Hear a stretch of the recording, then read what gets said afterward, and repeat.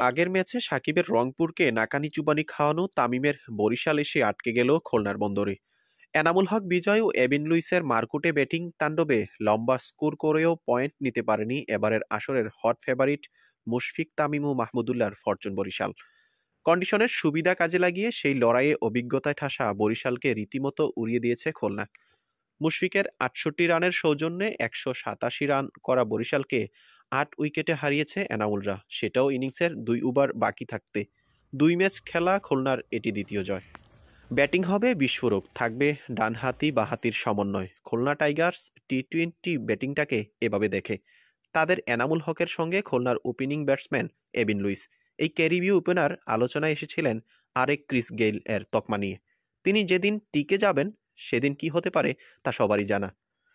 আন্তর্জাতিক টি টোয়েন্টিতে যার স্ট্রাইক রেট একশত একান্ন, সেই লুইসের স্ট্রাইক রেট আজ দুইশো চল্লিশ দশমিক নব্বই। সিক্স গিয়ারে ইনিংস শুরু করেছেন, বাইশ বলে তেপ্পান্ন রান করে আউট হওয়া পর্যন্ত সে গতি ধরে রেখেছেন। পাঁচটি চার ও পাঁচটি ছক্কায় শীতে জবুথুপু মিরপুরের দর্শকদের জাগিয়েছেন।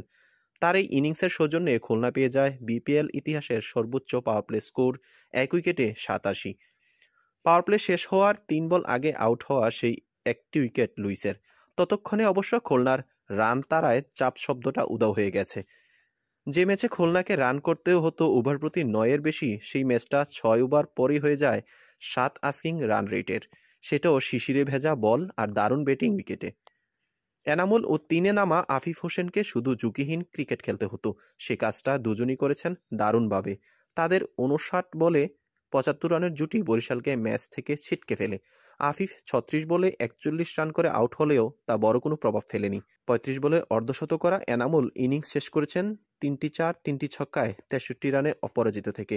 সাইহোপ অপরাজিত ছিলেন দশ বলে পঁচিশ রান করে।